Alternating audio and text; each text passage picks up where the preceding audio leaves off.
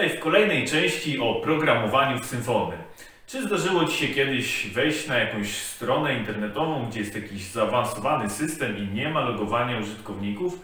Zapewne zdarzyło się. Na przykład jak chcesz sobie pobrać jakiś film z YouTube'a, to jakiegoś konwertera szukasz lub jeśli chcesz przekonwertować jakiś plik albo chcesz zrobić cokolwiek innego.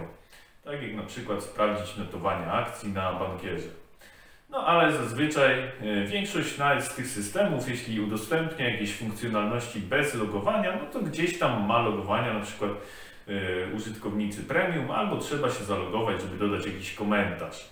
Dzisiaj zajmiemy się kwestią autoryzacji, czyli zrobimy sobie jakąś rejestrację użytkownika, logowanie, no i trochę sobie omówimy, w jaki sposób zabezpieczamy poszczególne e, funkcjonalności, tak aby mieli do niej dostęp użytkownicy z konkretną rolą.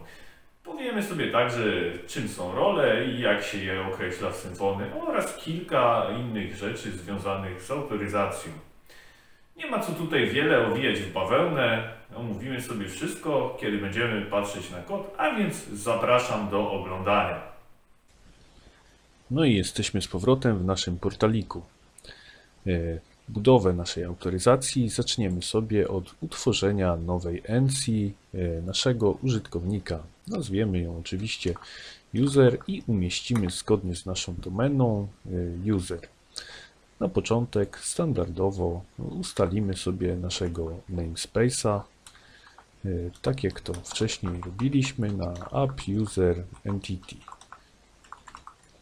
Następnie będziemy potrzebować w zasadzie tych samych rzeczy, których potrzebowaliśmy przy tworzeniu NC Post. No więc pozwolę sobie tutaj nieco skopiować. No i tutaj e, koniecznie trzeba będzie zmienić nazwę naszej tabeli, ponieważ będziemy chcieli utworzyć tabelę e, user. Chyba nie będzie nam tutaj potrzebne dodatkowe repozytorium, jednak e, w tym przypadku będziemy sobie e, korzystać z naszych e, implementacji interfejsów user interface i spróbujemy sobie to od razu zaimplementować w naszej klasie. Jeszcze może nam się tutaj przydać interfejs y, do haseł, czyli Password Authentication interfejs.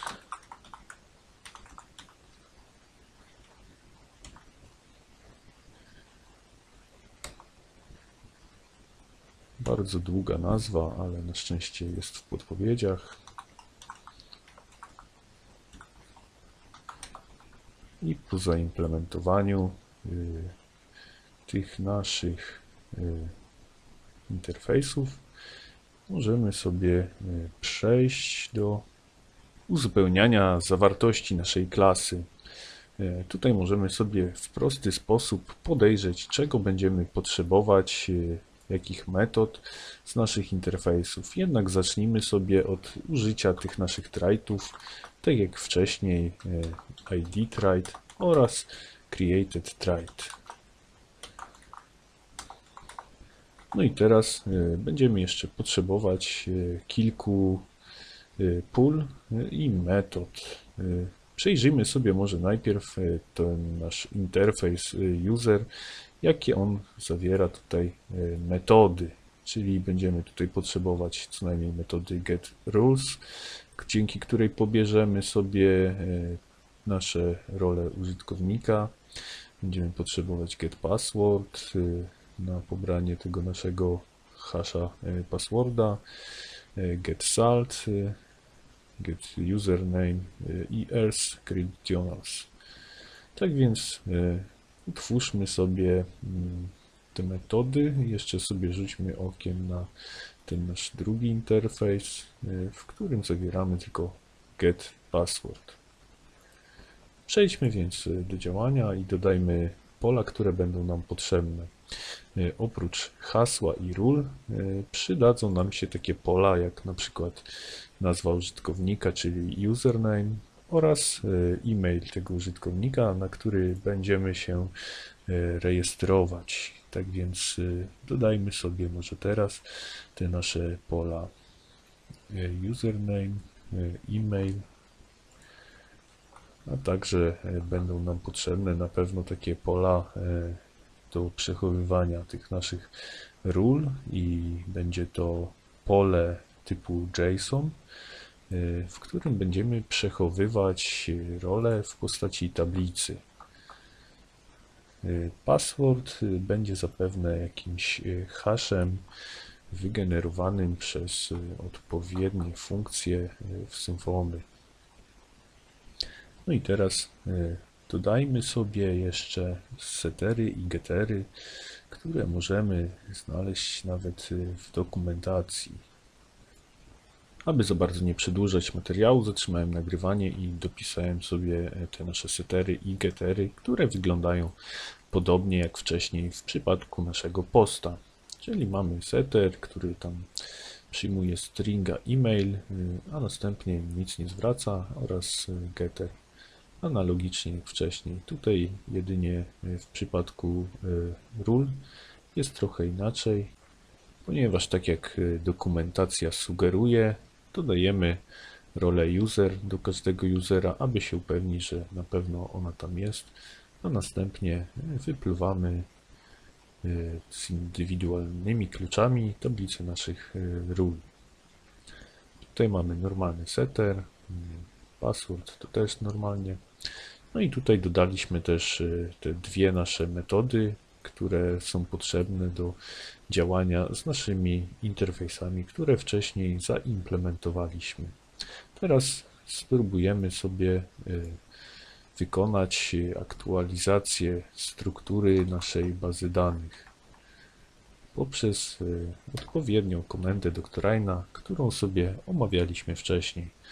Jak widać, przeszło bez większych problemów. Sprawdzimy sobie teraz, czy dodała nam się y, odpowiednia tabela.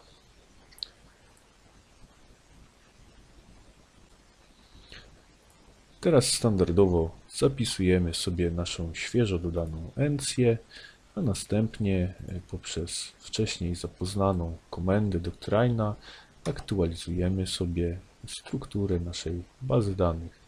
Sprawdźmy sobie jeszcze, y, czy nasza tabela nam się utworzyła poprawnie. I jak widać, y, mamy tutaj naszą nową tabelę, która jest pusta, ale zawiera strukturę, którą chcieliśmy tutaj uzyskać.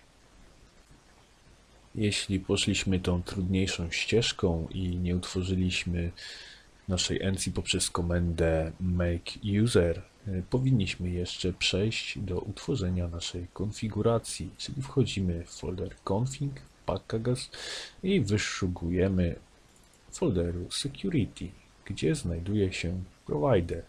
No i tutaj musimy dopisać jeszcze konfigurację app user provider i ustawić go na y, naszą encję, którą przed chwilą utworzyliśmy. Czyli tutaj będziemy potrzebować y, określić ścieżkę do naszej y, namespace, tak? Czyli to będzie trochę inaczej niż w dokumentacji Symfony, skoro podzieliliśmy to sobie domenowo. Mm, W dokumentacji tutaj będzie app entity user, a my mamy app user entity czyli trochę odwrotnie.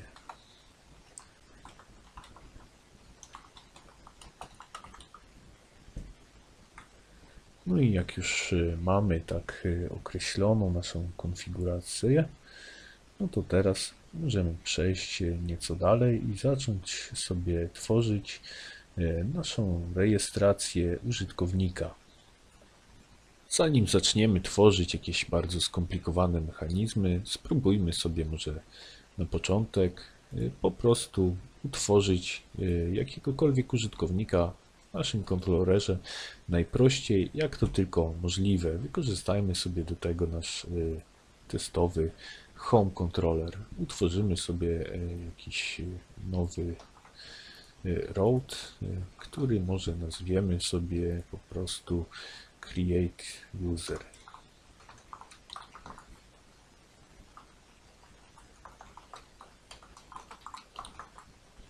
Nazwiemy tak samo metodę create user i teraz użyjemy sobie e, niezbędnych klas, które będą nam potrzebne do utworzenia tego naszego użytkownika. Czyli tutaj będzie na pewno ten nasz user e, password hasher interface. Poszukajmy sobie tego w naszych podpowiedziach. Jest. Korzystamy. Jeszcze będzie nam na pewno potrzebny nasz user.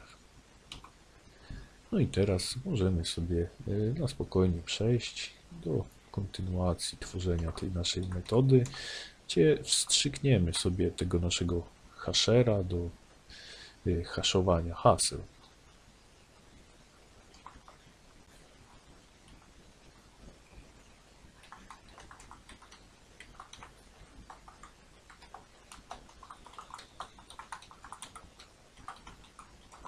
No i teraz jak już mamy tego naszego hashera, y, spróbujemy sobie utworzyć tego naszego użytkownika, czyli tworzymy najpierw standardowo nowy obiekt usera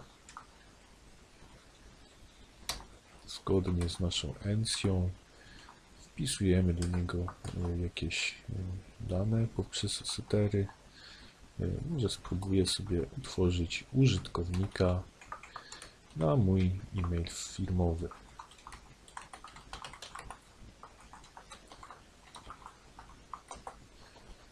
No i teraz co tam jeszcze może być nam potrzebne?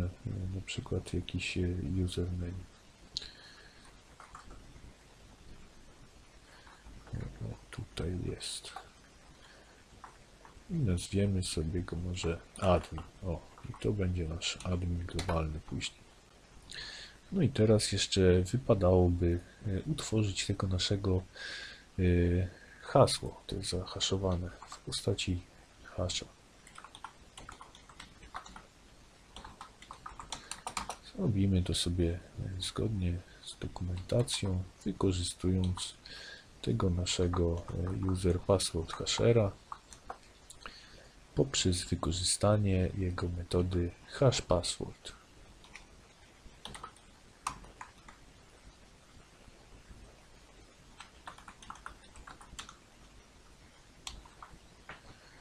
No i ta metoda tutaj przyjmuje tego naszego e, usera oraz hasło. Czyli to będzie user, a hasło ustawimy sobie na test raz, dwa, trzy po prostu. No i teraz e, ustawimy te hasło naszemu użytkownikowi.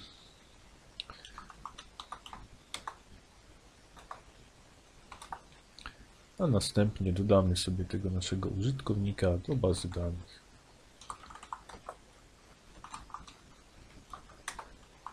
Pobieramy naszego Doctrina, Managera, no i wykorzystujemy persist user, a następnie flushujemy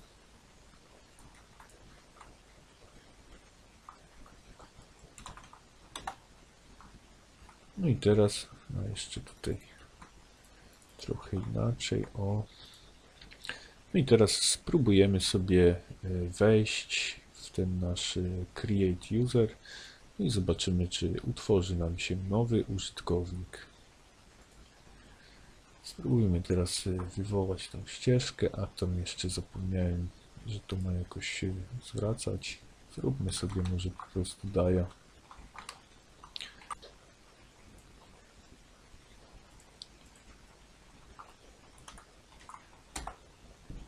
Jeszcze jeden mały błąd. Tutaj pomyliłem setter z getterem.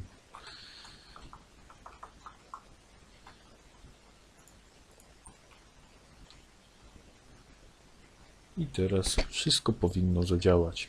Sprawdźmy jak tam nasza tabela. Jak widać dodał nam się jakiś użytkownik, admin, czyli wszystko tak jak chcieliśmy. Teraz możemy przejść do rozszerzenia i modyfikacji tego naszego całego mechanizmu. Czyli teraz wypadałoby y, utworzyć kontroler, y, serwis, który będzie nam tworzył użytkownika, no i jakieś templates y, spróbujmy sobie przez to przejść krok po kroku. Utwórzmy sobie może najpierw y, odpowiedni kontroler. Y, Nazwijmy go sobie może out controller.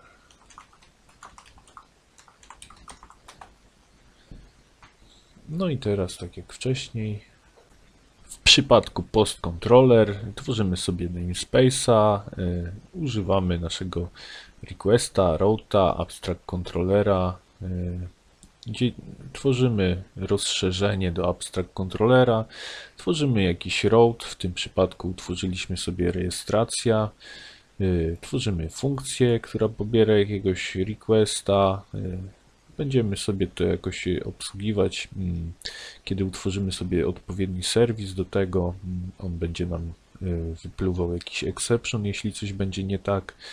Y, No i teraz będziemy potrzebowali jeszcze e, templatki. Pozwoliłem sobie tutaj trochę przewinąć, żeby nie przedłużać już i tak dość długiego materiału, który nam wyjdzie. Mm, Tutaj warto pamiętać o naszym podziale domenowym, czyli w naszym folderze z templetkami user utworzymy sobie jeszcze folder out, aby ładniej sobie nam podzielić pliki związane z obsługą naszego użytkownika. Dzięki czemu e, uzyskamy ścieżkę user out. No i teraz e, będziemy chcieli sobie utworzyć templatkę z naszym formularzem do rejestracji. I utworzymy sobie w tym celu twiga. No i teraz będziemy wszystko mieli y, ładnie zgrane domenowo i tak dalej. Teraz przejdźmy sobie do utworzenia tego naszego twiga.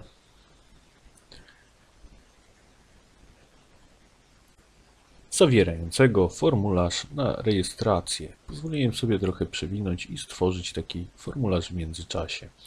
Formularz, y, jak to standardowy formularz rejestracji, zawiera pole y, username, y, ogólnie pola, które będą nam konieczne do naszej rejestracji, czyli username, e-mail, password, czyli hasło.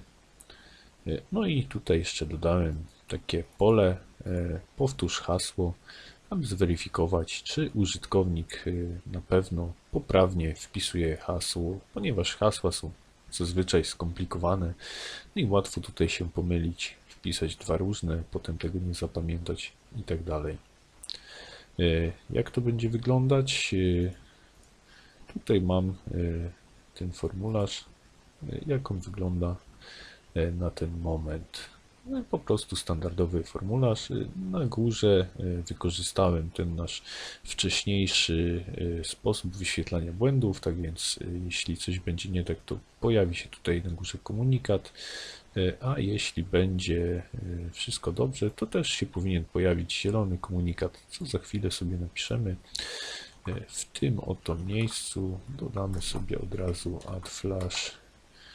No i tutaj będzie sukces, że poprawnie dodano użytkownika. Komunikat, zarejestrowałeś się. E, No i teraz potrzebujemy jeszcze e, czegoś, co nam tutaj to wszystko obsłuży, czyli zarejestruje naszego użytkownika.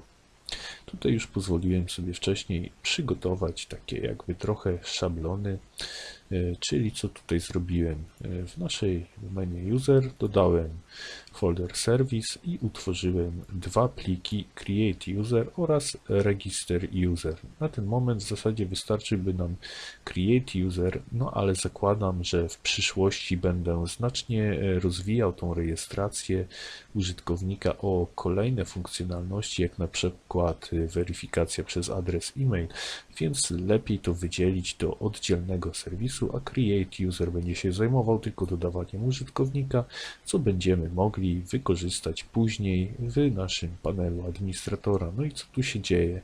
No tutaj y, będę używał na pewno Entity Manager Interface do dodawania do bazy tego użytkownika, NC User, y, no i Exception.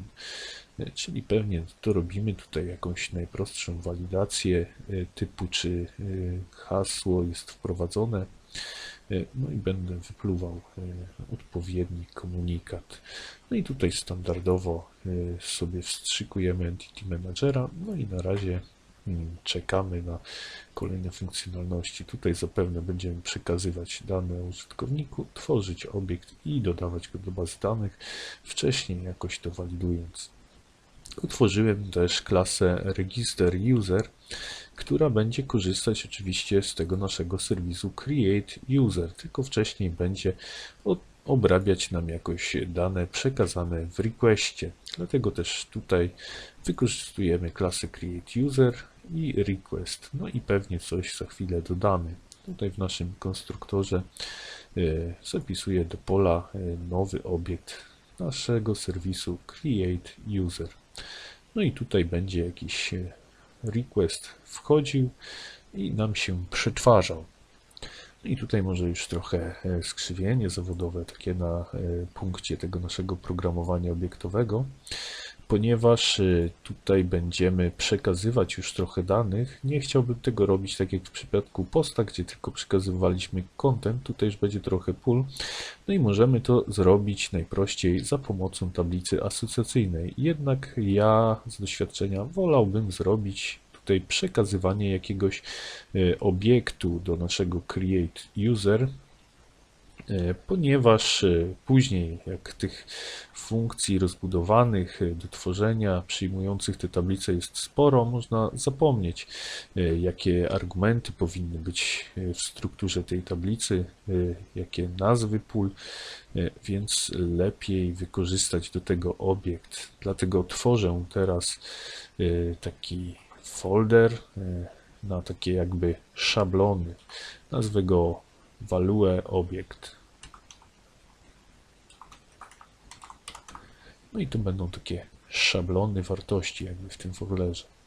Dlatego też stworzymy sobie tutaj e, klasę na nasz e, e, user e, value obiekt. Tutaj wykorzystam wyjątkowo skrót e, user VO, ponieważ no, tak to standardowo robię. Na pewno będę pamiętał, że to jest value obiekt.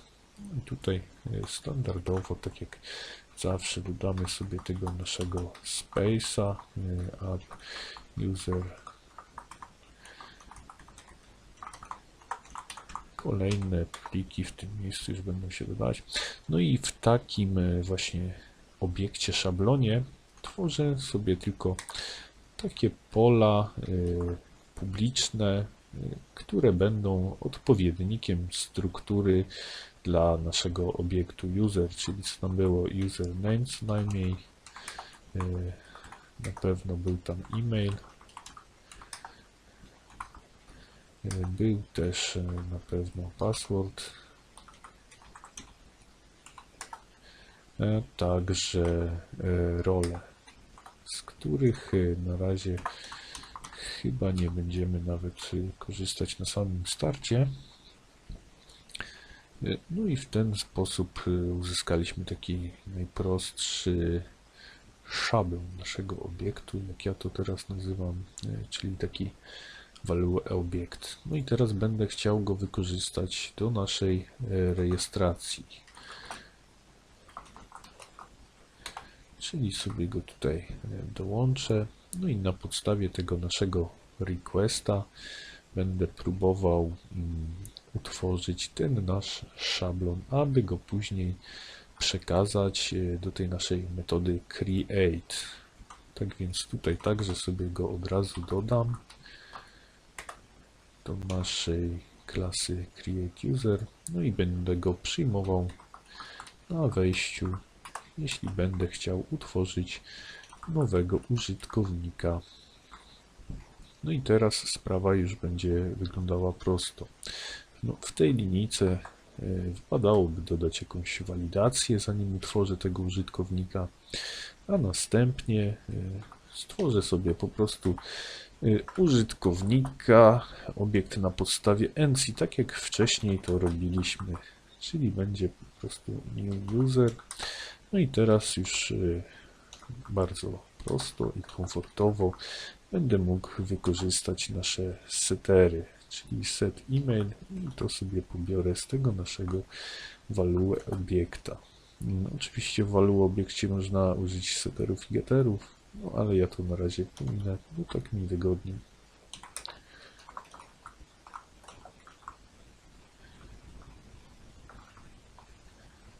Tutaj szczególnie będzie nam potrzebny e-mail i login. No i za chwilę przejdziemy do najciekawszej części, czyli obsługi tego naszego y, hasła.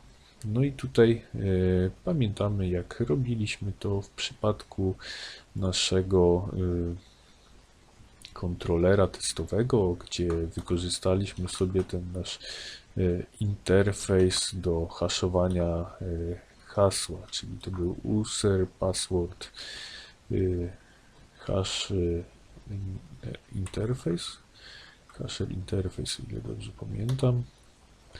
No i tutaj dalej spróbujemy sobie go y, wstrzyknąć do naszego y, konstruktora. Tylko najpierw y, utworzę sobie y, pole na ten nasz user password hasher.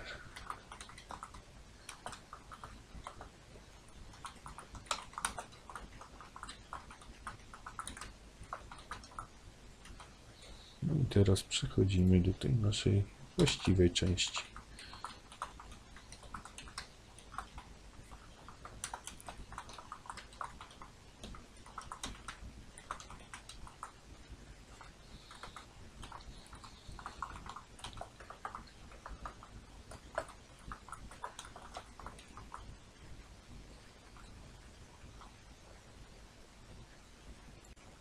No i teraz, gdy już mamy ten nasz user password hasher, po prostu pozostaje nam e, zakodować nasze hasło. Czyli tak jak e, wcześniej to robiliśmy, tylko że tutaj wykorzystujemy pole z naszego, e, naszej klasy, w którym sobie wykorzystamy tą naszą metodę hash password. No i tam, e, jak pamiętamy, przekazywaliśmy user, a następnie jego hasło, które tym razem będzie tym wprowadzonym przez e, formularz na stronie rejestracji. E, No i teraz, kiedy już mamy te nasze podstawowe pola, tam będą jeszcze pewnie role, od razu sobie może napiszmy user set rules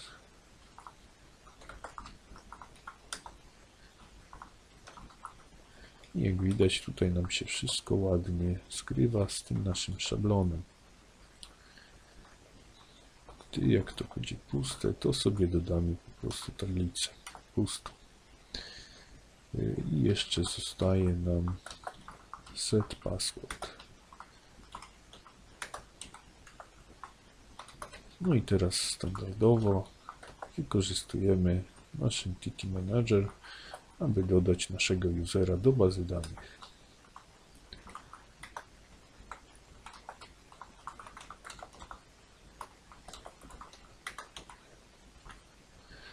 No i w zasadzie mamy gotową funkcję do tworzenia użytkownika, no może pomijając brakującej metody do walidacji, którą można sobie dopisać później.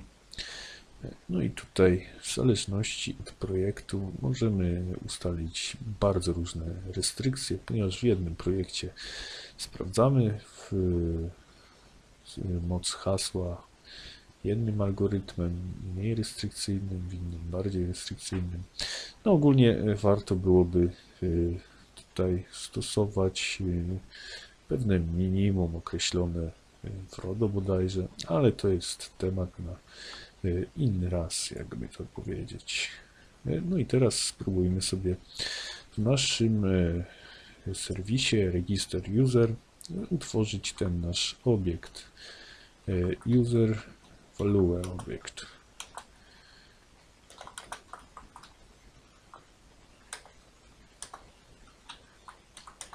No i tutaj zapewne też byśmy użyli jakiejś walidacji sprawdzającej, czy y, użytkownik przesłał odpowiednie wartości, poprawny adres e-mail i taki tam. No ale jak y, wykorzystamy to w naszej y, w naszym serwisie Create User, no to też zadziała. No i teraz po prostu sobie z naszego requesta zaciągamy interesujące nas y, informacje. Czyli tutaj będzie y, username.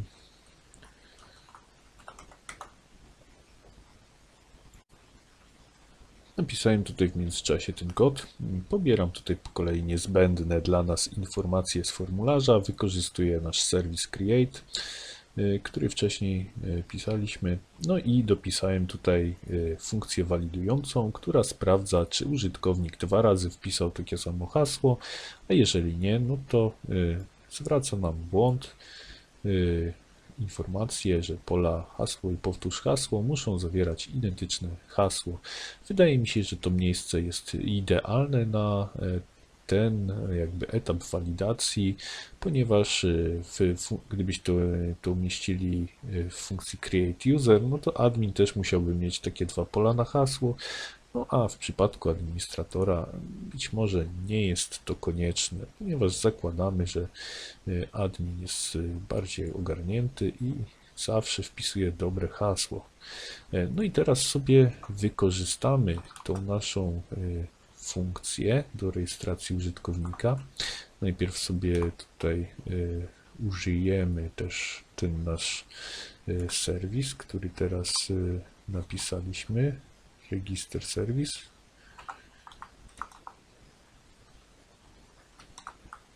Register user i teraz strzykniemy go sobie w metodę naszego kontrolera.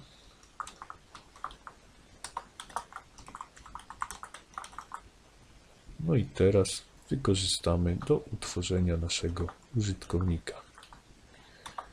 Register user, funkcja register from request, no i tutaj przekazujemy tego naszego requesta. No i teraz spróbujmy sobie utworzyć jakiegoś użytkownika. Załóżmy, że y, e-mail to będzie jednocześnie naszym loginem. Tutaj wpiszemy jakieś hasło, czyli standardowo do testów test raz, dwa, trzy. Kiedy nie jest e, wymagane zbyt restrykcyjne hasło. No i spróbujmy sobie teraz to wykonać. E, create user.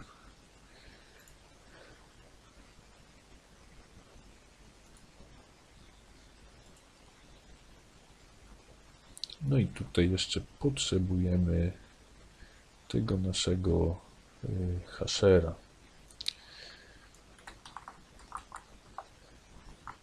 Tutaj od razu widzę błąd.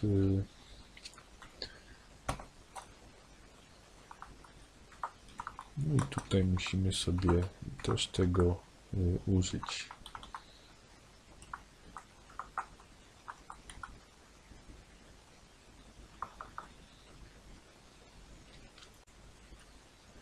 No i tutaj dostrzyknąłem sobie ten nasz e, user password hasher interface, bo był nam potrzebny do utworzenia użytkownika z hasłem.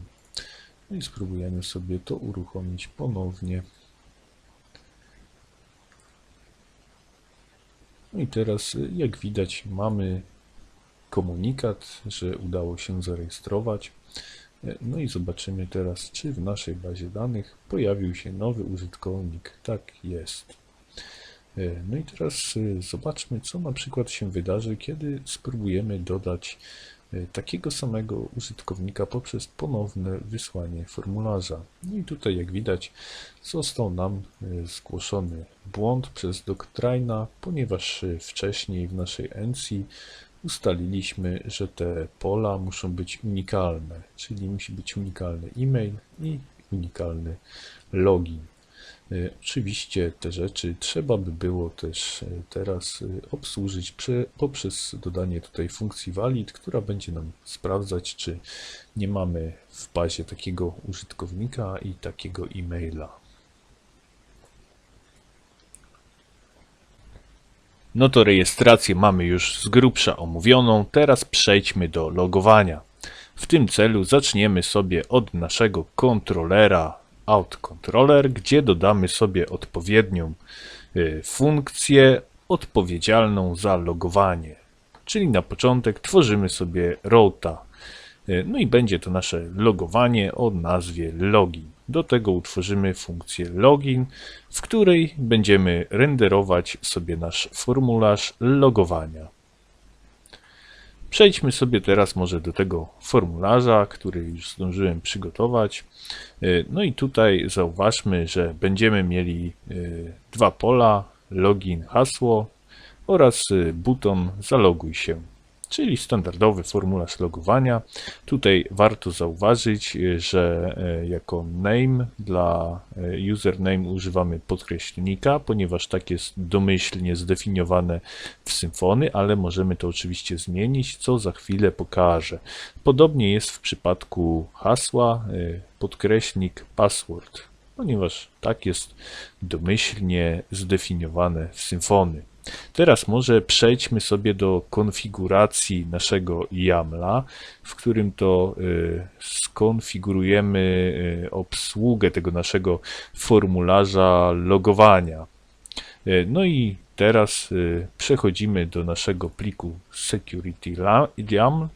Y, No i tutaj mieliśmy user in memory, no to teraz nie będziemy mieli ich w pamięci, tylko y, w naszej klasie y, MC user. Y, No i tutaj sobie to usuniemy i teraz dodamy tutaj mm, nowy tak jakby parametr odpowiedzialny za obsługę naszego formularza. No i będzie to form podkreślnik login. Y, No i tutaj najbardziej nas interesują y, ścieżki dla naszego logowania i sprawdzania tych danych logowania. No i pierwszy parametr to będzie login path. E, No i tam nazwaliśmy sobie tego naszego roota e, login po prostu. No i podobnie będzie z check password, e, path. E, To będzie e, ścieżka, gdzie sprawdzamy e, nasze dane do logowania. No i to będzie ta sama ścieżka, w której żeśmy się logowali, w której mamy ten nasz formularz. No i tutaj możemy sobie ustalić właśnie trochę więcej tych parametrów, co mamy opisane dokładniej w oficjalnej dokumentacji Symfony, którą już tutaj sobie wyszukałem i to będzie to. No i tutaj właśnie mm, to jest ogólnie e, Security Configuration Reference, taka strona w dokumentacji. E, No i tutaj po kolei mamy e, różne parametry opisane, aż dochodzimy do form login authentications. No i tutaj właśnie mamy ten login e, check path, no i tutaj właśnie mamy określone, że mm, ten login path to będzie domyślnie login, no i login check. No i tutaj właśnie mamy też y, nasze y, pole y, username parametr. No i jak widać wartość domyślna to jest właśnie podkreślnik username. Podobnie jak w przypadku naszego parametru z hasłem. No i teraz, jak już tutaj mamy skonfigurowanego tego naszego YAMLa, mm, możemy przejść sobie dalej do tworzenia y, naszej, naszego logowania. Teraz, y, jak już tutaj y, mamy tą naszą funkcję w kontrolerze mm, o nazwie login, przydałoby się jakoś pozyskać te nasze błędy, czyli jak użytkownik poda nieprawidłowe dane, to będziemy potrzebować wyświetlić mu stosowny komunikat. No i aby uzyskać y, ten błąd, y, wykorzystujemy do tego klasę o nazwie e, Authentication Utils. O tą właśnie klasę. Teraz sobie ją tutaj wstrzykujemy.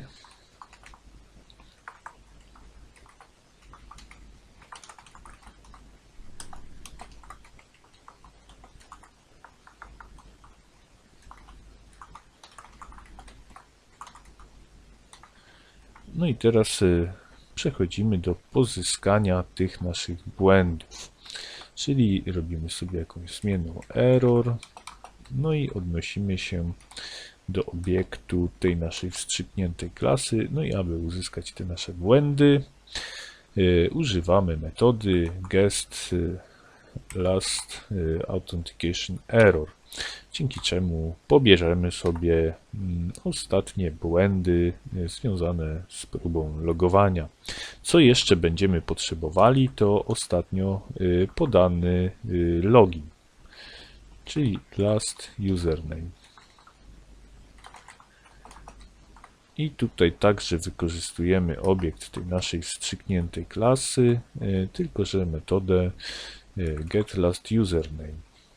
Będzie nam to potrzebne do wyświetlenia w formularzu logowania w polu y, loginu, aby user nie musiał sobie podawać tego loginu za każdym razem, kiedy poda złe hasło.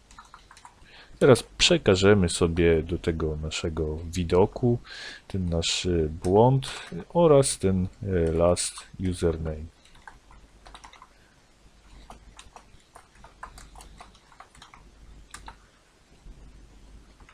Zapisujemy, no i mamy coś takiego.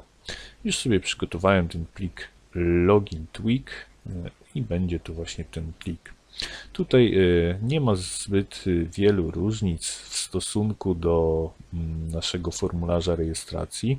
Warto tutaj zobaczyć, że jest warunek if error, czyli jeśli są jakieś błędy związane z próbą autoryzacji, to wyświetlamy użytkownikowi error.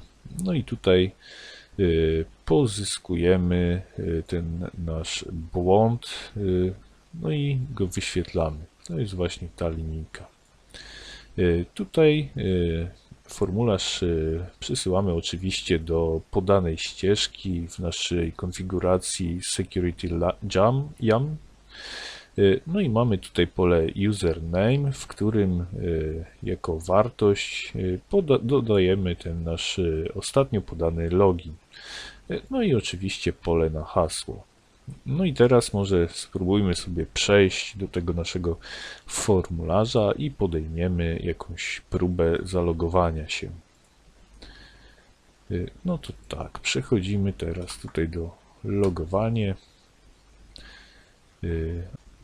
Y, błąd ten wskazuje na mm, niepoprawność konfiguracji. Jeszcze sobie troszkę ją korygujemy.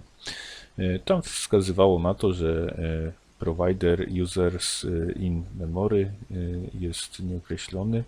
Oczywiście tutaj powinniśmy zmienić na tego naszego providera, którego sobie niedawno skonfigurowaliśmy.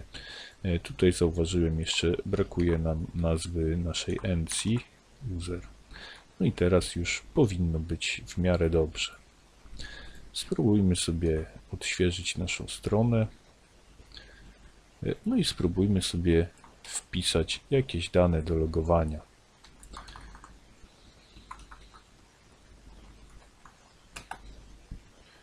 E, no i tak właśnie e, wygląda, jak podamy złe hasło.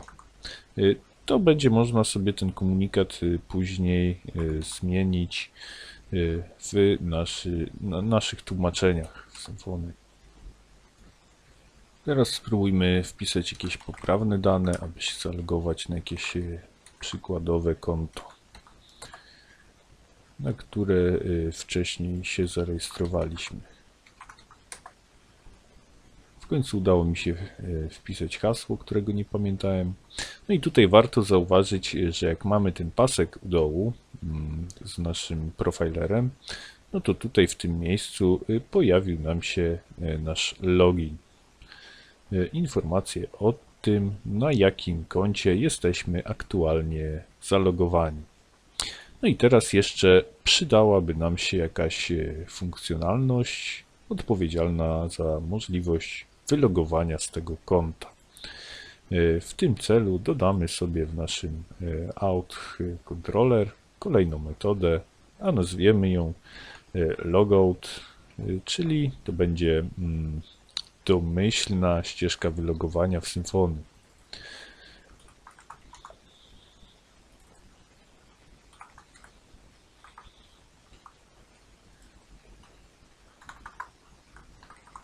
No i tutaj raczej nie będziemy przyjmować żadnych parametrów. Mm, Zróbmy sobie może tak, że po wylogowaniu wyświetlimy użytkownikowi e, stosowny komunikat, że został wylogowany.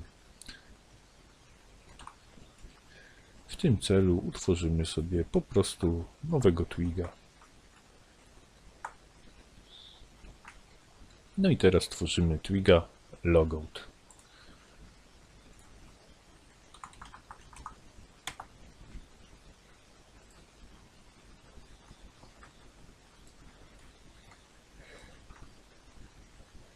No i teraz pozostało nam tylko wyświetlić odpowiedni komunikat.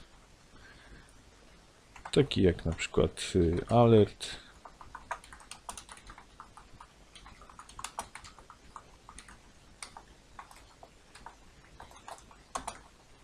Gratulacje, zostałeś wylogowany.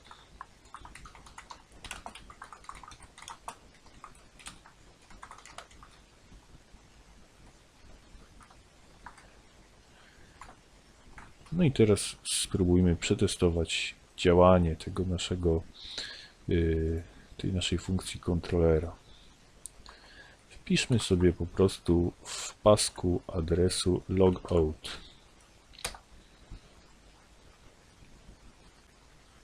No i komunikat już mamy. Teraz potrzebujemy jeszcze skonfigurować naszego firewalla. Przechodzimy znowu do naszego pliku security.yam i tutaj e, przydałby nam się e, nowy parametr, którym będzie logout. No i tutaj ustawiamy sobie naszą e, ścieżkę. Spróbujmy sobie to zapisać. No i przejdźmy jeszcze raz do naszej podstrony wylogowania.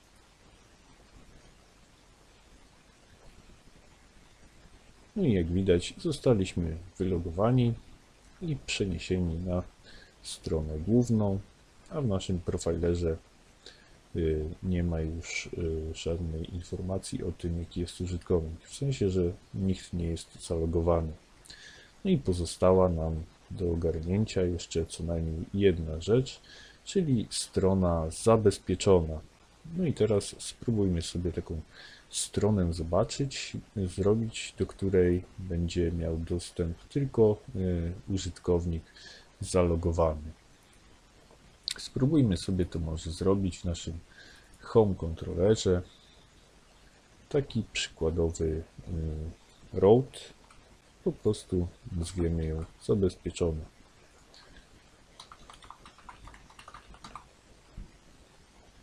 Może krócej będzie bezpiecznie.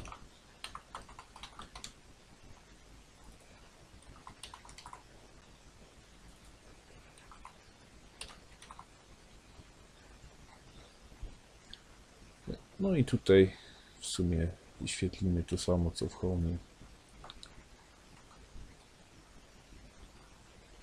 No i teraz y, spróbujmy mm, wejść na tą stronę, kiedy jeszcze jej nie zabezpieczyliśmy.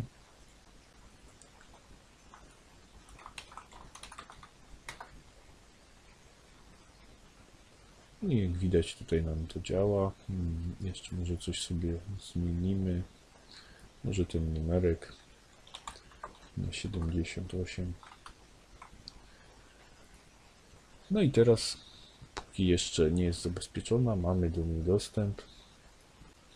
Najprostszym sposobem na zabezpieczenie takiej e, strony będzie e, wykorzystanie funkcji naszego kontrolera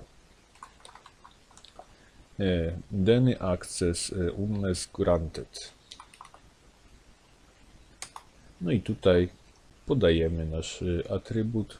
No i jako ten atrybut podamy jako ktoś jest y, zalogowany. W pełni y, zautoryzowany, tak jakby. Spróbujmy sobie teraz zobaczyć, co się wydarzy.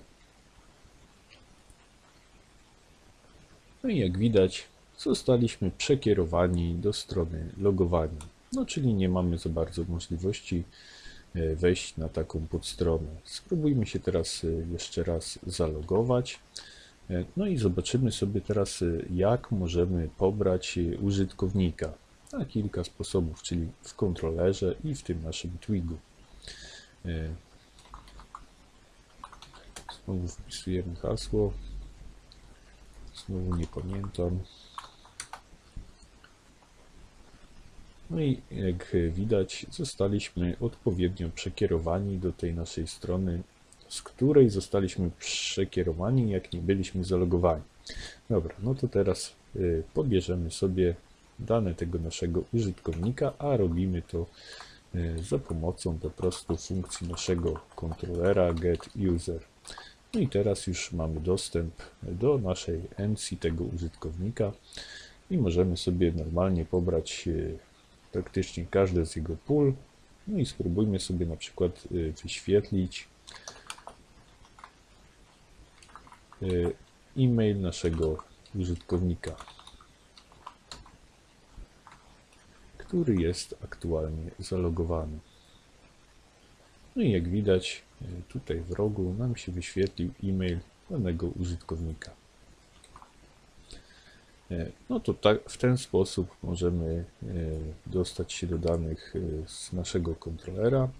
Teraz spróbujmy to samo zrobić w naszym twigu. Będzie to home twig.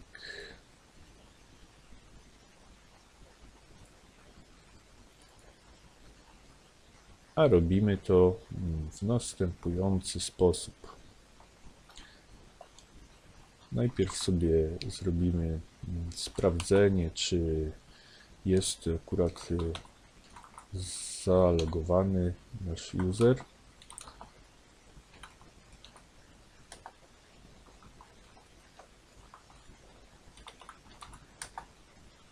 No i jeśli jest, to wyświetlimy sobie jakieś jego pole. No i robimy to po kropce. E, Nie musimy tutaj w przypadku getterów e, pisać słowa get. Możemy się bezpośrednio e, odnieść do naszego pola user email. No i teraz przejdźmy do testu. No i jak widać, mamy tutaj nasz e-mail. No i tak by wyglądało pobieranie danych zalogowanego użytkownika. Dodawanie tego typu zabezpieczenia, które do tej pory napisaliśmy, może być nieco problematyczne e, w przypadku zabezpieczania bardzo dużej ilości podstron. Spróbujmy sobie zrobić to może trochę inaczej poprzez ustalenie ogólnej zasady zabezpieczającej naszą podstronę. Spróbujmy sobie może utworzyć, e, powiedzmy, jakąś podstronę do panelu admina.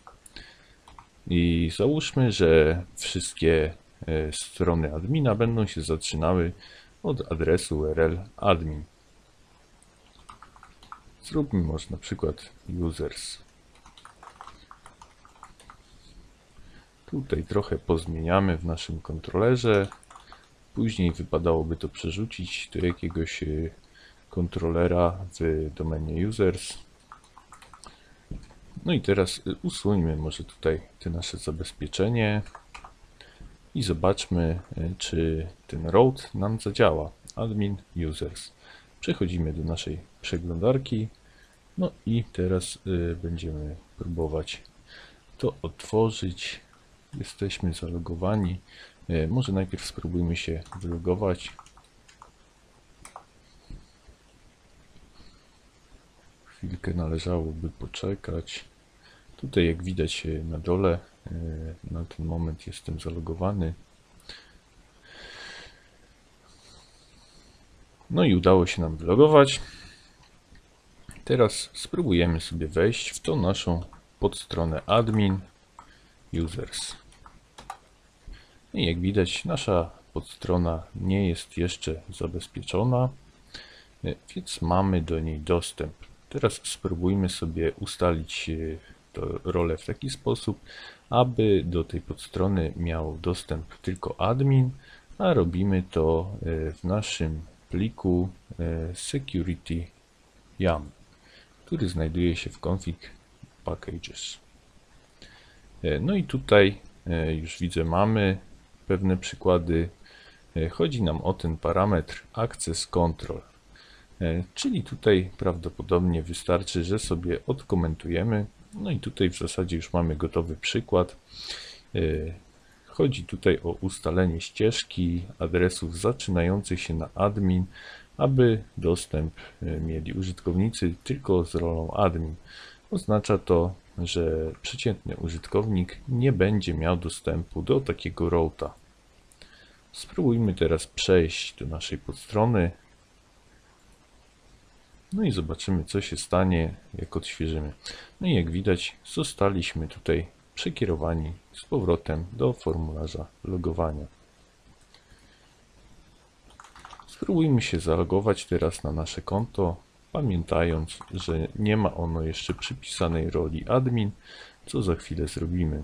No i jak widać, e, Symfony nie wpuściło nas tutaj, zwróciło access denied. Teraz spróbujemy sobie ustawić rolę dla tego konta. Pamiętamy, że role to jest po prostu e, tablica. I tam wystarczy dopisać rolę admin. Podkreśnik admin. Zapisujemy i prawdopodobnie ten użytkownik już będzie miał taką rolę.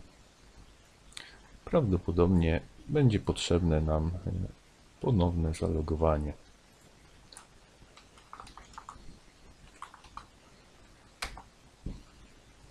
Logujemy się. No i jak widać, teraz mamy dostęp do naszego rout'a admin users. No i w ten sposób możemy y, za jednym zamachem zabezpieczyć cały panel administratora. Trochę już dużo tego filmu wyszło, więc y, na dzisiaj skończę. Aczkolwiek zostało jeszcze y, parę ciekawych rzeczy, które można byłoby zastosować, tak jak na przykład przełącznik ról użytkowników do testów, no i kilka innych rzeczy, jak zabezpieczenia. mm, No ale to sobie omówimy jakoś w przyszłości.